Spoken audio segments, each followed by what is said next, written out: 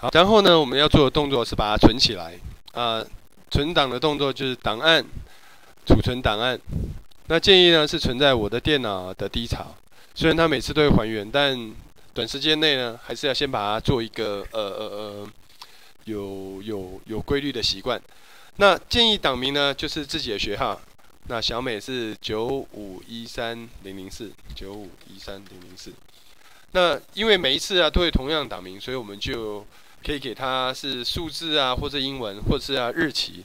那今天是三月十五，我们就零三一五储存。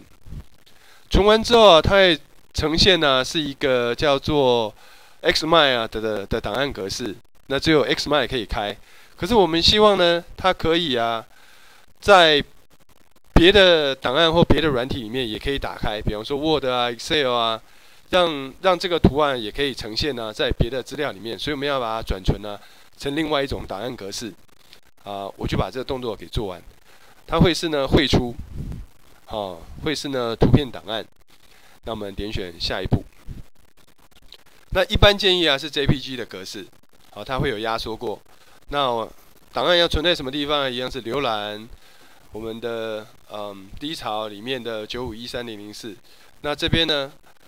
可能还是要给他一个九五一三零零四横线零三一五的名字，然后储存。按完成之后呢，它会做转档，然后会开你电脑里面啊任何呃惯用啊的看图软体。这一台电脑的看图软体呢，就是应该是哦这个 Media One，这就是刚刚做的那个图案。好，先到这边。